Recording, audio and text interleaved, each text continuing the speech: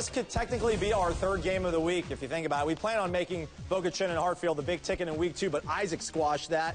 Bobcats, though, they've got an ace. His name is Brandon Wells. MSU fans, he's going to your school next year. Be very happy. We're scoreless in the first, but not for long because Wells gets busy for Bogue Chitto uh, once again, and they deserve all the camera time they can get, but let me keep my camera. Graham Yeatman of Hartfield pushes him right into me, man. Chill out, but I'm agile like a Bobcat.